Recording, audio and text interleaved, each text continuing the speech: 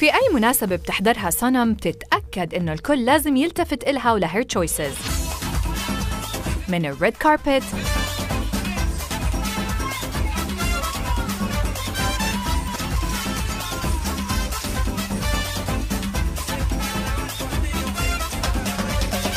لأزيائها العادية.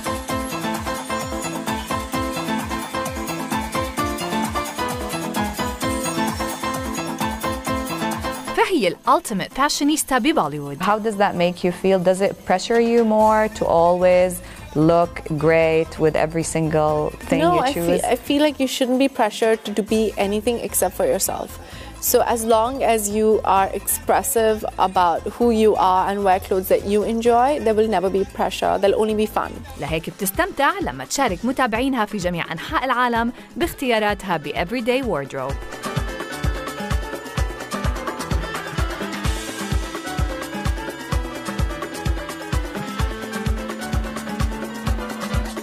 You dedicate your Instagram and social media really well to like appreciate fashion and Yeah. share your thoughts with everyone. I enjoy putting images out there and things out there that might inspire people to aspire to something.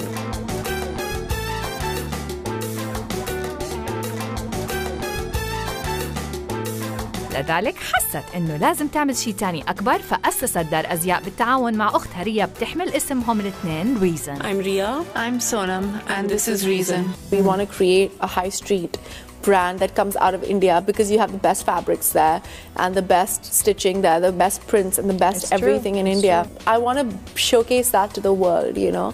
And um, my sister and I decided to start this brand, and hopefully we'll expand. Uh, with now with Amazon, um, I think we'll start shipping internationally as well, and maybe you can get the mom's jacket. Yay! Yeah.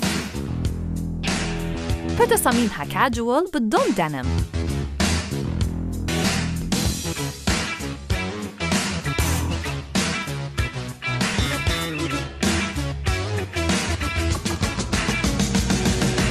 لكن ستايلها هي دايما فيمينين ودريمي ومعروفة بحبها لريد كاربت جاونز